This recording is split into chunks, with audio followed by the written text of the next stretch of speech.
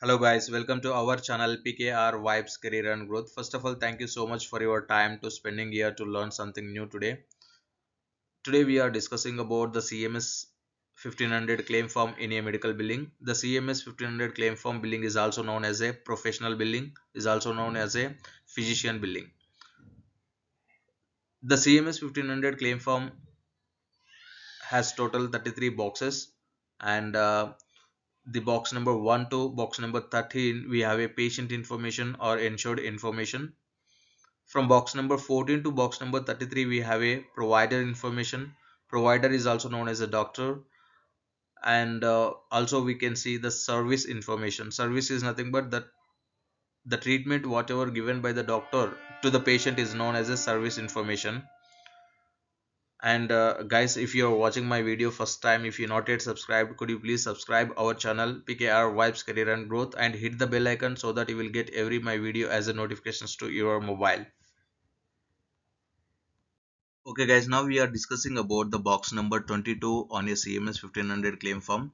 Here the box number 22 is nothing but resubmission code and uh, along with the original reference number Box number 22 is used to enter the original reference number for corrected claims or resubmitted claims. So generally, you know, what is corrected claim? Initially, we submitted one claim to insurance and insurance is, so I'm telling again, initially we submitted one claim to insurance is known as a original claim.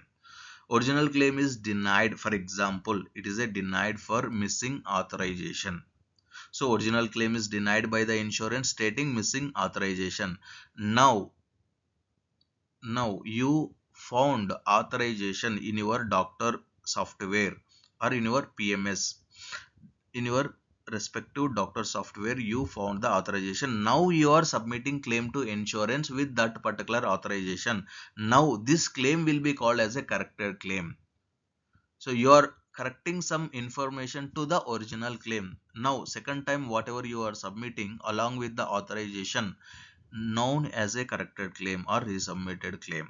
Okay, so here the box number 22 is used to enter the original claim number, original claim number for the corrected claim. So in the box number 22, you should have to give the original claim number.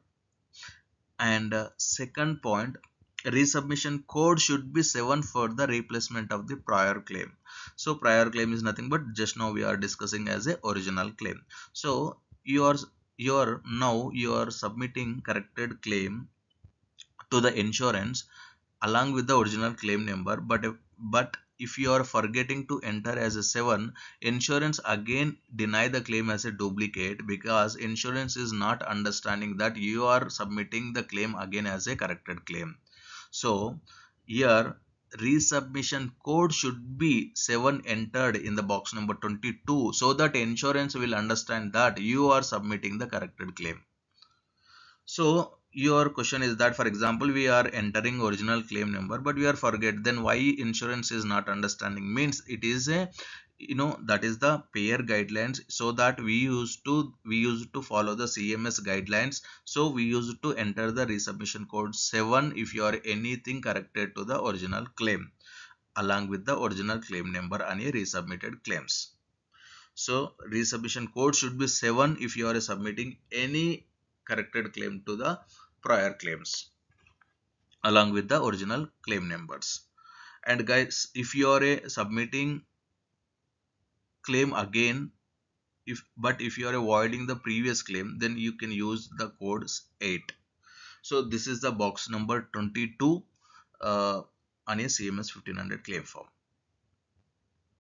Guys if you felt the content is useful could you please like our video so that it will reach us many more needy people and uh, thank you for your time. Thank you for watching. Have a good health. Bye for now